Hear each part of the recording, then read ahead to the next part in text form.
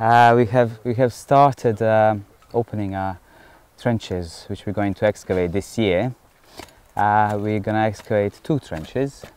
Um, one positioned uh, over there behind you at the site of the uh, chambered cairn monument itself, and then uh, a, a, satellite trench, if you if you want, which uh, is um, aimed at investigating two things. Uh, one is the position of one of the outlier stones, which we're not sure whether it's one of the megaliths that has been moved from the monument to this location or whether it's a stone that has purposefully originally been, been put there for, for, whatever, for whatever purpose.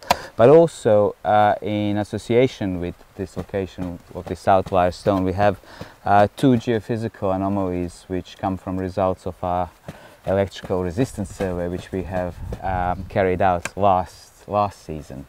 Uh, so we'd like to see what, what those anomalies are. They are high resistance which indicates that they uh, are some sort of uh, uh stone structures. Now this could be completely natural uh, bedrock. Uh, it's there's no way really of telling, but it, it, they could they could be man-made structures of, of really any date, and them being in association with with the outlier stone might be significant and it might, might tell us more about uh, why the stone is there and what, what, those, what those features might be.